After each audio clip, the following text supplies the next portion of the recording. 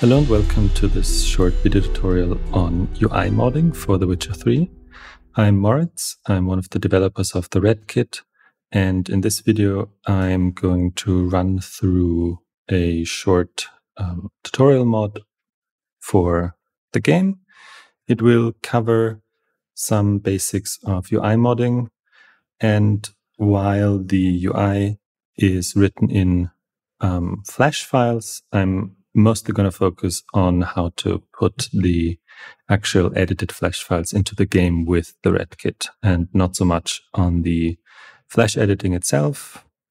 Flash files are edited with, for example, Adobe Animate, which I'm going to use for this tutorial, but there's plenty of tutorials out there for this program, so I'm not going to focus that on that. And I'm also not an animator myself, so wouldn't make much sense. Here I already started up the Witcher 3 REDkit and I already made a empty project for this demo, but not much hangs on that. So I'm just going to open it up and then we'll jump into editing the actual Flash files themselves and importing them into the game. So let's open the project.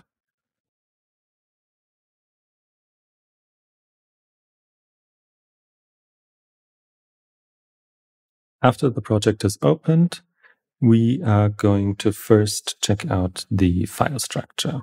All the UI files in the game can be found in the asset browser, which can be opened here.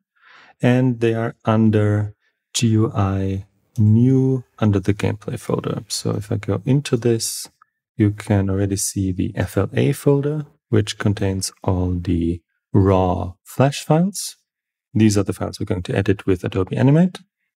And then to foreshadow a bit, there's also the SWF folder, which contains, for example, go in here, which contains the actual SWF files that are exported from Adobe Animate. And they also contain the red SWF files, which are the um, files that the game itself uses. And um, we're going to come to that part, but these are the files that the game actual are bundled in the mod and are installed. So let me then first start with the raw Flash files. If I go into the folder and we can um, go down and look through all the UI, but for this mod project, I am I think I'm going to modify the bestiary UI file. And to do that, I need to check it out as usual. Checking out a file means that the actual file is going to be moved into the mod project. And here we can edit it itself. But let, let's also check out the output files because these are going to be exported and imported then back into the editor.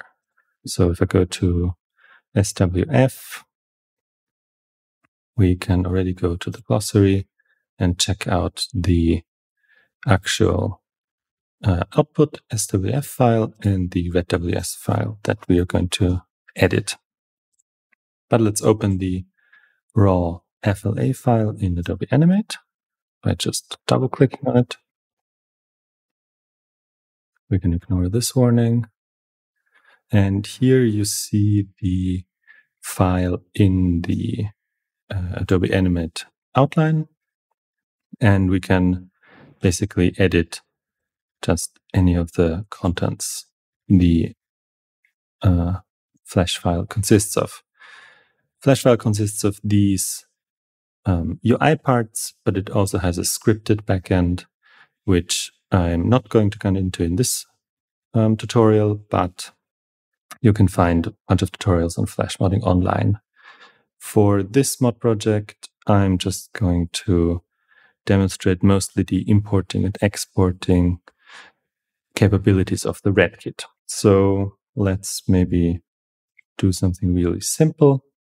What we can do is we can, for example, change this background image of the bestiary to something else.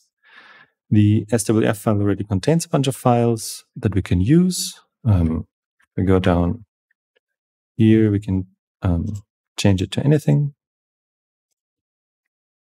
but we can also add, of course, new assets to the file. So if I go to the library, um, where you can all see the uh, already included assets, we can just add a new file, for example, here. I already downloaded the playtest image of the witches, so we can just like drag it into here.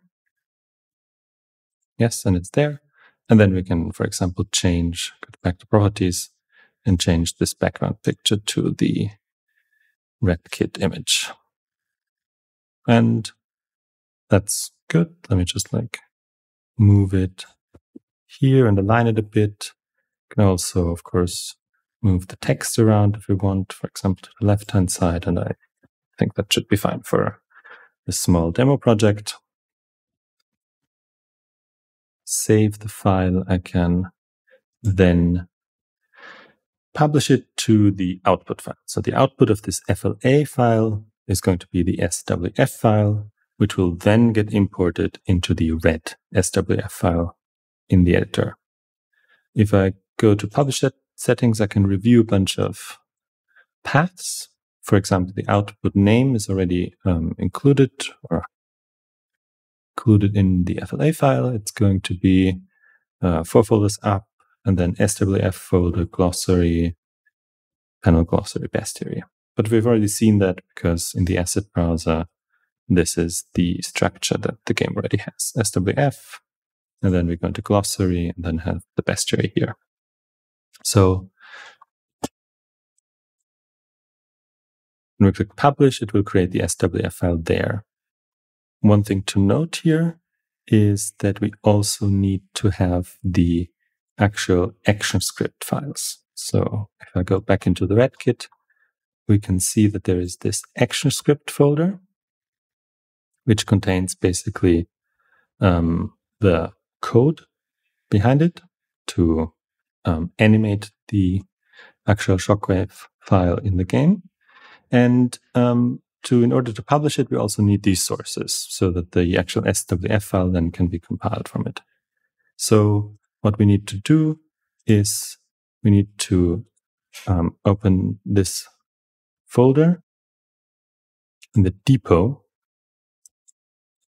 and then copy this whole ActionScript folder with the actual ActionScript files to the workspace.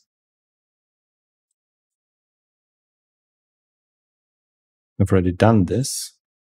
It's already here, but uh, in order to do it easily, we can go to the REDkit, open the workspace depot, and then under gameplay, GUI new, there's the ActionScript folder. Just notice that if this folder doesn't exist, the publish of the UI file will fail. But I already copied it over, so we can just click publish and it will create the SWF file in your mod project. Going back to the asset browser, we can now see that under SWF, glossary, SWF file, if I open this in the mod project, we can see that it has changed. So the only thing that's left now is to actually import the file back into the format the game can read. We can do this by right clicking on the red, WS, uh, red SWF file and then click import flash SWF file. And then we navigate to it. This is already correct. So we're in my Flash project, workspace, gameplay, GUI new, SWF, and then we select the actually import, uh, exported SWF file, click open. We can keep the default settings and just click OK. And it will import the file and ask if it uh, if we really want to do it. Yes, we do. So we click yes.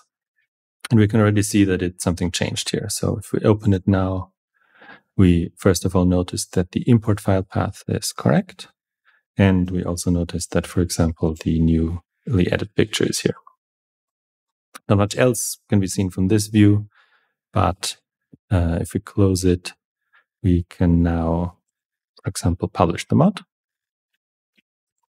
save it, add the name, version, and description, and start cooking it. This is rather fast because not much needs to be done. Just packing the um, red SWF file into a bundle. If we open the folder, we can see that it created a mod with the bundle. And this contains the UI project. So we can now, of course, export it as a zip file and um, upload it to Nexus, for example, or install it into the game or publish to uh, the Steam Workshop. But we're not going to do this. We're just going to check it right now in the editor. So for that, I'm going to load a world, for example, Vizima. And then we're going to check if the UI has actually changed. So not much needs to be done. We can just play the game on the current layer without anything loaded. So it will load in fast. And then we will check the UI.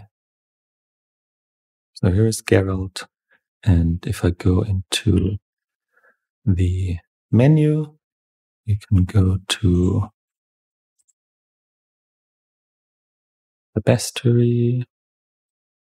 And we can see that the UI has actually changed and it imported the correct um, Flash file with the added picture.